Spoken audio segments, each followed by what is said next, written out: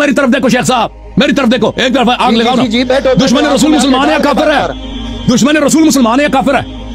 وہ دشمنی ثابت کرے گا نا دشمن رسول سوال کا جواب دے دشمن رسول مسلمان ہے کافر ہے؟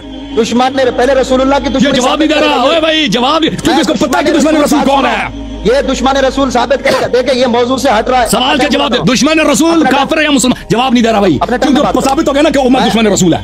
کیونکہ ثابت ہو گیا کہ ابوبکر دشمن رسول ہے۔ جو کہتا ہے کہ میں آگ لا کے اس گھر کو جلاؤں گا کس کا جو رسول کا گھر۔ تو یہ رسول کا دشمن ہے۔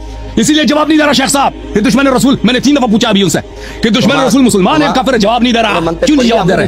ہے۔ جواب دے دو۔ دشمن رسول مسلمان ہے کافر ہے جواب دے دو۔ نہیں جواب نہیں دے رہا نا جواب نہیں۔ آئی نو ٹائم جواب نہیں دے رہا۔ جواب نہیں دے رہا۔ شیخ صاحب تو نے اعتراف کر لی۔ تیری خاموشی تیرا سکوت میں اپنے ٹائم میں بولوں گا۔ تیری لا جوابی سوچا خاموش خاموش۔ میرے سوال کے جواب نہیں دیا تو خاموش ہے۔ تیرا اللہ جوابی اس بات کی دلیل ہے کہ تو جواب نہیں دیا کہ دشمن رسول مسلمان ہے کافر ہے تو ثابت تو گیا نا کہ ابو بکر عمر کا اسلام سے کوئی تعلق ہی نہیں کیونکہ وہی ہیں انہوں نے دشمنی کی ہے۔ اوئے عمر آیا کہتا میں اس گھر کو جلا دوں گا۔ بھائی گھر اہل بیت کے گھر کو جلا دینا رسول کے گھر کو جلا دینا۔ وہ فاطمہ الزہرا سلام اللہ علیہ جیسے ہی حدیث میں میں نے دکھا دیا رسول اللہ صلی اللہ علیہ وسلم ان کا ہاتھ چومتے تھے بی بی کا ہاتھ چومتے تھے۔ گفتار عین رسول عبادت عین رسول کردار عین رسول شکل و شمائل عین رسول بولنے کا انداز عین رسول اس کے گھر کو چلایا جاتا ہے اس کے گھر کو ابو بکر کی خلافت پہ کے لیے؟